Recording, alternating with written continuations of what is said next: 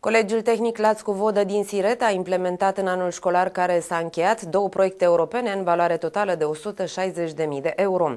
Este vorba de proiectul Bune Practici de optimizare a stagiilor de practică pentru integrarea mecanicilor auto pe piața muncii și de proiectul Eurocalificarea prin Erasmus+.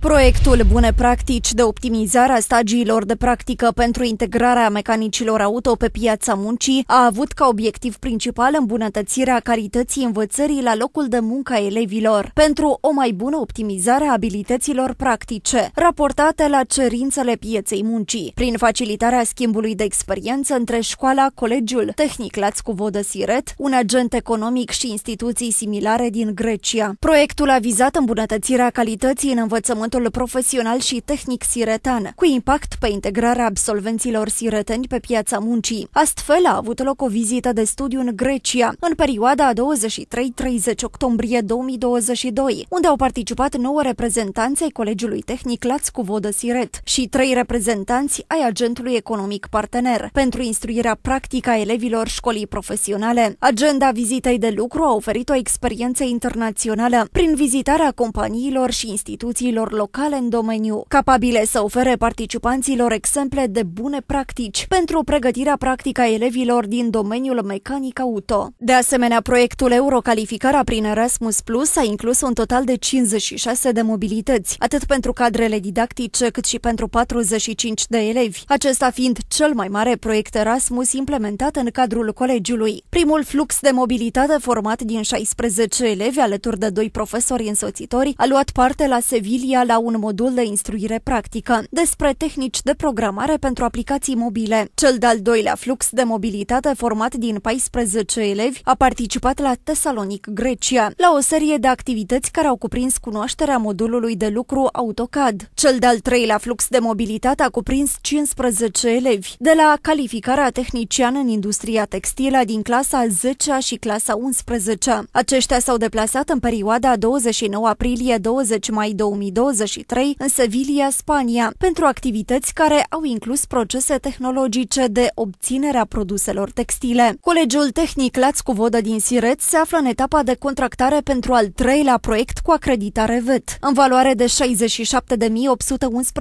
euro, care se va implementa în anul școlar 2023-2024.